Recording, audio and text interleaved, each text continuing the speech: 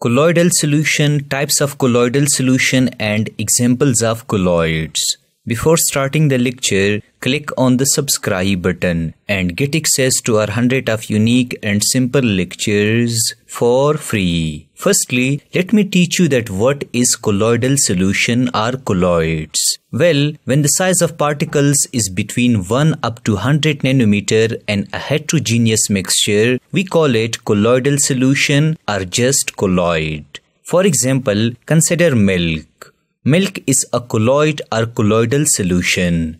Here, a lot of students are confused. Let me clear this confusion. The milk appears to be homogeneous mixture, but its microscopic description reveals that its particle size is between 1 up to 100 nanometer.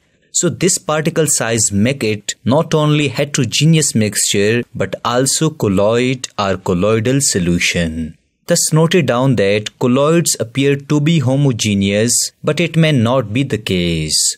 Also remember that every colloid contains two phases, dispersed phase and dispersed medium. Personally, I call dispersed phase as a solute and I call dispersed medium as a solvent. Dispersed phase is the component that is present in smaller proportion in the colloid, while dispersed medium is the component that is present in larger proportion in the colloid. For example, milk is a colloid. It is made from liquid fat and water. So liquid fat being present in smaller proportion is the dispersed phase, while water being present in larger proportion is the dispersed medium. Here is a bonus MCQs for you. The combination of two gases never forms solution, mixture and colloid. Well, the answer is colloid. For example, consider air. We know that air is a homogeneous mixture of different gases like nitrogen and oxygen.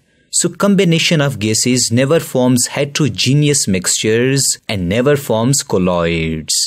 Finally, let me teach you the eight types of colloids and examples of colloids. The first is gas and gas.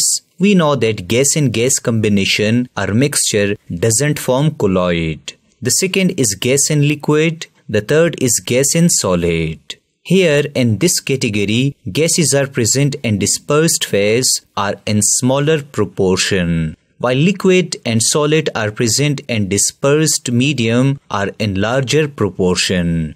The name of gas in liquid colloid is foam and its example is wiped cream. The name of gas in solid colloid is solid foam and its example is bread. Now the fourth is liquid and gas, the fifth is liquid and liquid and the sixth is liquid and solid. Here, in this category, liquids are present in dispersed phase are in smaller proportion, while gas, liquid and solid are present in dispersed medium are in larger proportion. The name of liquid and gas colloid is aerosol, and its example is fog or cloud. The name of liquid and liquid colloid is emulsion, and its example is milk. The name of liquid and solid colloid is gel and its example is jelly or butter. The seventh is solid and gas.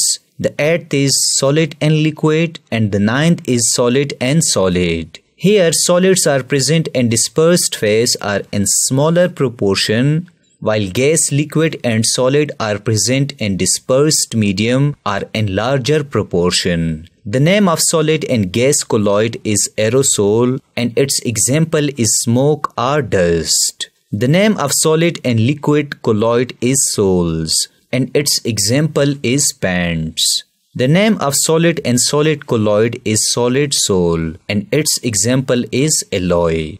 Remember that we do not have a colloid in gas and gas mixture so we therefore have eight types of colloids or colloidal solution. To learn more about solution suspension and colloids, watch our next video and its link is given in the description.